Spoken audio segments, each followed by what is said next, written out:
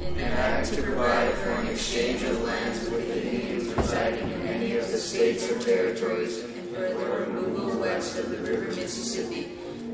The topic that we are learning is called removal.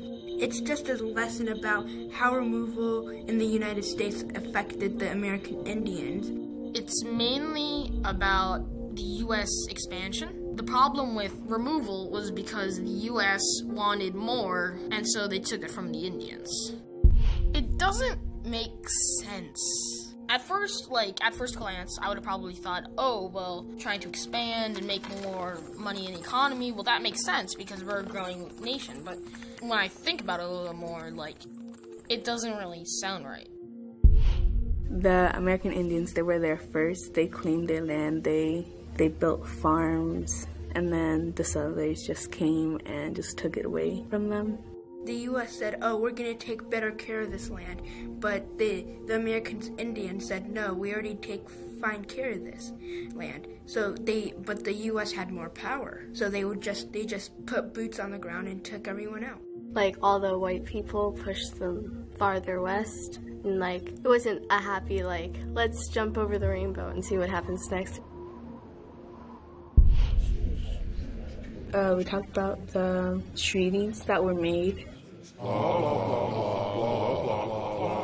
They signed a treaty that said that they would uh, move, but while they moved, they would be supplied money and food and shelter and stuff by the government. And the way that they wrote it, it was sort of like fraud because the money apparently didn't go to them directly, it went to somebody else, and the supplies that came usually came late and they weren't good at all. So they were sort of tricked. Many many walked. It was a forced march. During the walk, people did get sick walking, probably in the cold, and probably died from the disease or hunger or dehydration.